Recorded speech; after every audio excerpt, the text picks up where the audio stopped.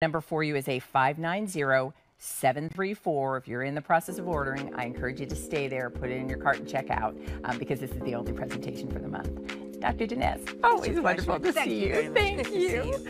All right, listen, I know we had so many wonderful beauty trends for you in this hour, and you can continue to shop for any of the things that we featured.